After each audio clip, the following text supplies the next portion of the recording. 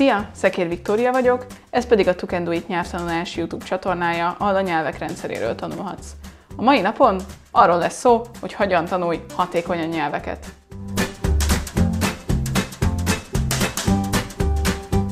Sokszor megkapom ezt a kérdést különböző formában a tanítványaimtól, mert ők is látják azt, hogy így össze-vissza tanulok nyelveket, és tudni akarják a titkot. Szóval arra gondoltam, hogy akkor legyen ebből külön tartalom, mert hogyha valamit ennyiszer megkérdeznek, az biztos, hogy sok embert érdekel. Sokszor teszem fel egyébként magamnak is ezt a kérdést, hogy hogyan lehet hatékonyan tanulni nyelveket. Szerintem egyébként erre nincs válasz, tehát hogy ez, ez mindig olyan, hogy magadnak kell megtalálnod, és mindenkinek más a stratégiája azért alapvetően, de sok emberrel dolgozok együtt, és sok emberrel dolgoztunk azon, hogy ő hogyan tud amúgy az órákon kívül is hatékonyan nyelvet tanulni. Úgyhogy van rálátásom arra, hogy mondjuk mik azok a dolgok, amik fontosak, és hát személyesen is rengeteg tapasztalatom van azzal, hogy, hogy egyébként egy ilyen folyamatot hogy érdemes csinálni.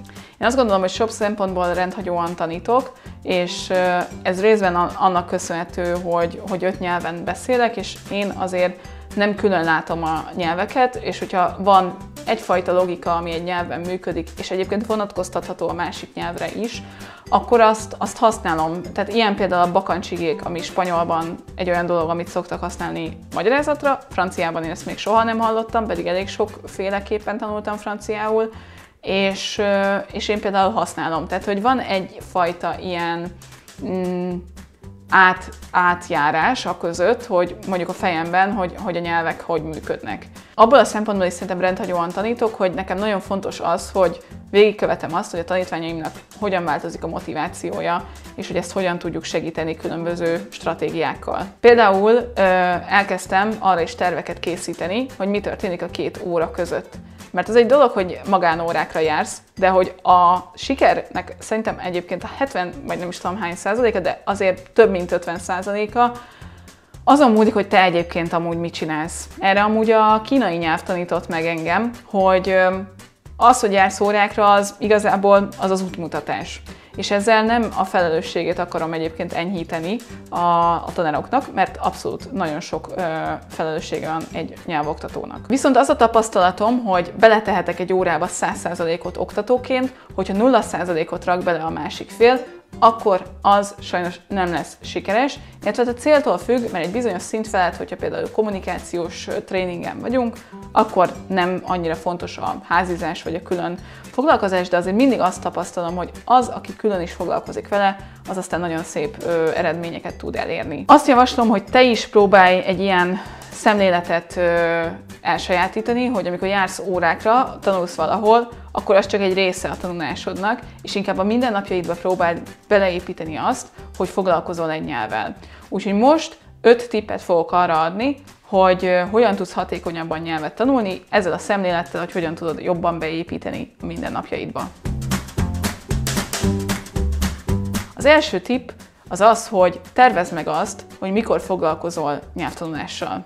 Talán meglepő lehet, de ezt a tippet egyébként két éve kezdtem el ajánlani a tanítványaimnak, és hát ez nagyjából egybeesik azzal, hogy elkezdtem kínaiul tanulni. Amikor annó mondjuk spanyolul tanultam meg, akkor még nem volt bennem ez a tudatosság. Tehát akkor úgy voltam vele, hogy jó, úgy nagyjából, tehát hogy megcsinálom a házit, ilyen heti, nem tudom, két-három órát még foglalkozok a spanyolal, azon felül, hogy órákra járok, és akkor ez tök jó, és ezt a spanyol nyelven egyébként meg is lehet csinálni, ráadásul nekem volt egy olyan pofátlan előnyöm, hogy franciául tudok, és nyelveket tanítok, szóval nekem a spanyol az egy ilyen diadalmenet volt, egy év alatt a nulláról eljutottam a, addig, hogy letegyem a Cervantes intézet C1-es felsőfokú nyelvvizsgáját.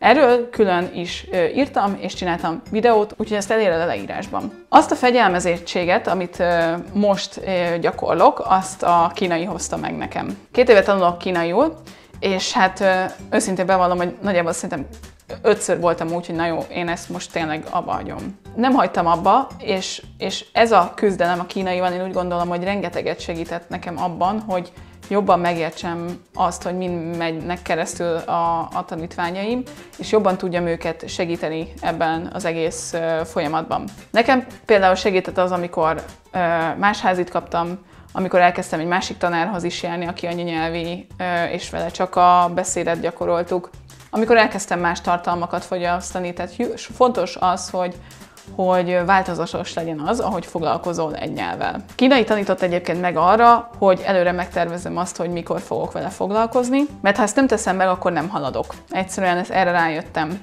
Nem mondom azt, hogy minden nyelvnél ez szükséges lenne. A kínai én úgy gondolom, hogy ez egy olyan nyelv, ami megmutatja nagyon eltúlozva azok a technikákat, amiket egyébként kisebb erőbedobással, de más nyelvtanulási folyamatnál is érdemes alkalmazni. Én minden héten előre megterveztem azt, hogy mikor fogok ezzel foglalkozni, volt, hogy direkt ezért kezdtem korábban, hogy munka előtt foglalkozzak vele, és körülbelül egy ilyen heti 10 órát töltöttem kínaival, nem mondom azt, hogy töltsél heti 10 órát egy nyelvtanulással. Én most ö, arra próbálom mindenkit inspirálni, hogy mondjuk egy ilyen heti két-három órát próbáljon meg külön is foglalkozni azon a nyelvvel, amit közösen tanulunk. Ha ez az előre megtervezés nincsen, azzal is van tapasztalatom, mert különben körülbelül 5 éve tanulok zongorázni, és az mm, most nem tud akkora szerepet játszani az én életemben, pedig nagyon fontos nekem. Ott nem tudom megtervezni azt, hogy mikor foglalkozok vele, és ez meg is látszik azon, hogy mennyire vagyok sikeres benne. Kínaiul sokkal jobban tudok, mint amennyire zongorázni. A második tippem az, hogy ne akarj baromi sok időt tölteni a tanulással. Ez nagyon fontos tényleg, és ezt a kínainál tanultam meg szintén. A heti 10 óra az fenntarthatatlan. Van egy nagyon elszent tanítványom, aki het, napi 3 órát tölt nyelvtanulással, de azért én azt mondom, hogy az átlag emberek nem erre vannak beállva, sem mentálisan, sem munkaügyileg, semmilyen szinten. Sok tanítványomon azt veszem észre, hogy nem ül le foglalkozni a nyelvvel, mert úgy van vele, hogyha le akar ülni, akkor egy-két órát akar rászállni egybe, és egy-két óra meg nincsen sokszor. És ez, ez végül ahhoz vezet, hogy soha nem ül le foglalkozni vele, és folyamatosan nagyon frusztráltan és szégyen kezdve mondja, hogy hát, Viki, megint nem foglalkoztam vele egész héten, és én mindig azt próbálom mondani, hogy akkor foglalkozz vele csak napi 10 percet, vagy 30 percet, hogy ne, ne akarj rögtön mindent is. Szokásokat egyébként mindig nehéz kialakítani, de megint a futós hasonlat az nekem mindenre működik. Amikor én 10 éve futok, és, és és nem úgy kezdtem, hogy rögtön azt mondtam, hogy na most akkor én két órán keresztül futni fogok, hanem 300 métert futottam először, és azóta lefutottam maratonokat. Tehát ez nem úgy megy, hogy a nyelvtanulás sem szerintem, hogy most te leülsz két órán keresztül valamit nyelvtanozni, bármi, és akkor az majd jó lesz, mert megutálod. Tehát, hogy elsőre két óra, az baromi sok. Kezd 10 perccel, 20 perccel, 30 perccel, de következetesen minden nap, vagy minden második nap. A harmadik tippem az, hogy legyen konkrét célod. Ez nagyon fontos, mert hogyha van célod, akkor tudod, hogy mit akarsz elérni. Ha nincs célod, akkor csak úgy mész, és folyamatosan elégedetlen vagy, elégedetlen vagy valószínűleg, hogy hát nem éred el. De hogy ugye mozgó a célpontod, vagy nincs is célpontod, és ezért úgy, úgy érezheted, hogy nem haladsz. Nem mindenkinek kell egyébként nyelvvizsgáznia, de például nekem az segített, hogy nyelvvizsgáztam kínaiból mert az adott egy keretet az egésznek. Annak volt egy időpontja, voltak követelményei, szókincse, és úgy segített abban, hogy tényleg azt mondjam, hogy jó, akkor én ezt most azért csinálom, mert.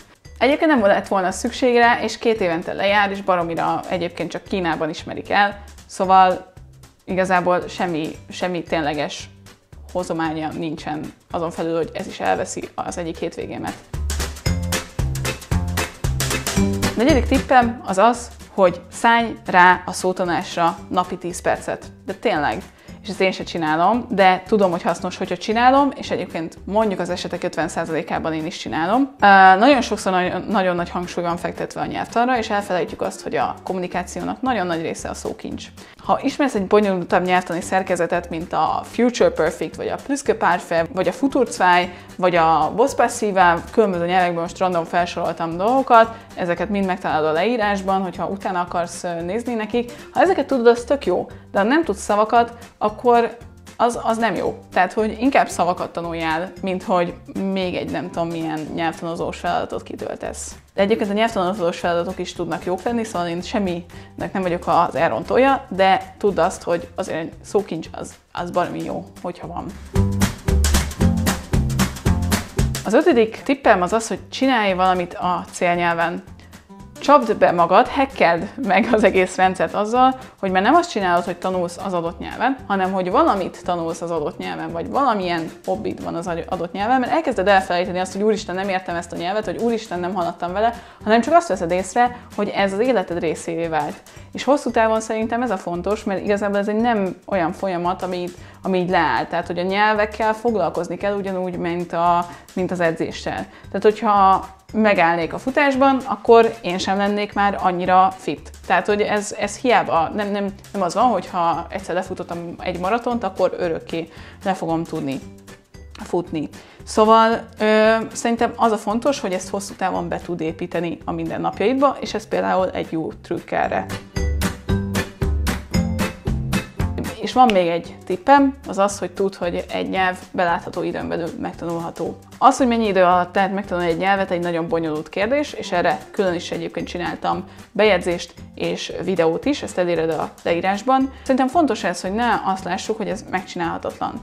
Szerintem nekem ez egy nagy titkom, hogy mivel ennyiszer végigcsináltam ezt a folyamatot ennyi nyelvvel, tudom azt, hogy ezt igen, meg lehet csinálni, még a kínaival is. Egyszerűen csak kitartás és következetesség szerintem az, ami nagyon fontos. Azt gondolom, hogy így lehet hatékonyabban nyelveket tanulni, és ami még egy plusz trükk, az az, hogy élvez. Azt hiszem nekem a legnagyobb titkom az, hogy egyszerűen érdekelnek a nyelvek, és én ezt nem úgy fogom föl, hogy úristen, már megint foglalkoznom kell ezzel. De igen, van olyan, hogy utálom, hogy már megint ezzel foglalkozom.